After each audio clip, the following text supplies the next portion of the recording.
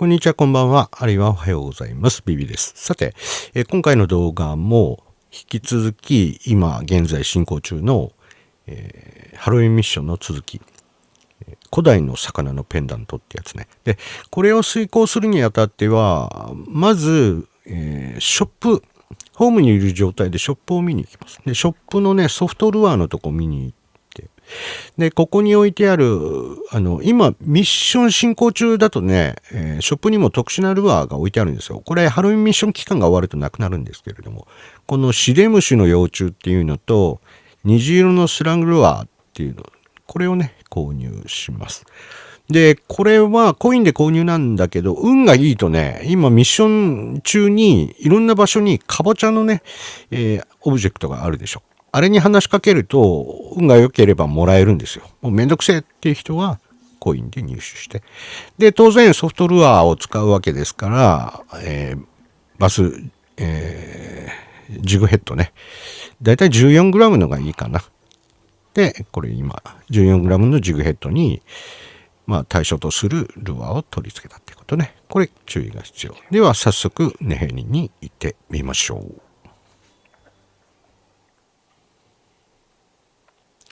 で、ネヘリに着いたら、これ実は昼間でも釣れたんですけれども、なんか全然ね、一匹さっと釣れたんだけど、全く釣れなくなったので、やっぱり夜にした方がいいかな。21時にして、で、釣ると。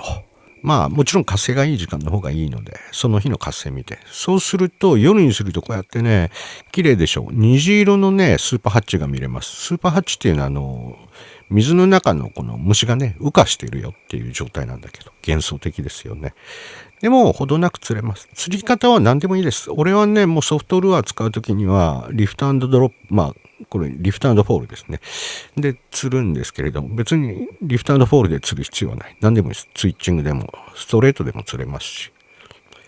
で、ちょっと注意が必要なのが、このね、ミッションの対象魚ですね。これ光ってるんですよ。綺麗でしょ。お化けっていうことなんだけど、こいつがなかなかのあの、力持ちで、だから、ちょっと弱めのタックルだとなかなか上がんないんですよ。3キロそこそこのタックルでやったら、上げるのにね、5分以上かかっちゃったので、まあ、上がるのは上がるんだけど、理想で言えばやっぱ10キロ近いタックルであればね、これ今10キロのタックル使ってますけど、ほどなく上がる。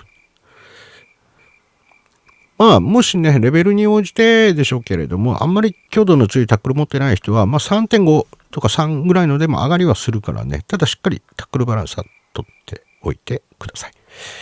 で、次にシデムシの幼虫で釣ってます。これちょっと早送りしてるのが、今度はちょっとタックルの強度が6キロのもので釣ってるんですけど、やっぱかなり時間かかったんでね、だいたい平均して3キロぐらいのね、えー、魚になります。これシデムシの幼虫ってさ、なんか普通に生きてる餌みたいに思うじゃん。俺もちょっとね、これ悩んだんだけど、何のことはないソフトルアーだったってことですね。で、コツとしては、まあ、やってると釣れなくなる時間帯が来るんですよ。とか他の魚が釣れたり。そういう時には場所変えればいいですからね。ね、変にどこでも釣れますから。さて、えまず魚釣れっていう2つのミッションは達成。そしたら今度は鬼火があるところ行けって言うんですよ。なのね、今度、この魚を、まあ、2種達成すると、スーパーハチが消えて、1箇所だけ鬼火が輝いています。それがここです。ちょうど橋になってるとこね。で、この1箇所だけキラキラ光ってるでしょ。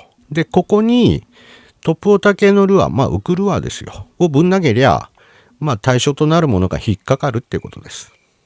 で、あの辺めがけて、俺はちょっとウォーカーでね、投げたらすぐこうやってね、なんかゴミ引っかかってよってメッセージ出るので、で、えここで釣り上げればミッション達成ということですね。これはすぐにでした。場所さえ分かればね。で、場所の方はちょっとね、パッドでもお見せしますので、よろしければ確認してみてください。こちらですね。まあ、ちょっとね、昼にした状態を確認してないんだけど、まあ夜にしとけばこうやって輝くから間違いないってことです。そしたらもう、あとは、えー、ホームのローンスターに行って、例の、あの、石の場所に行くってことですね。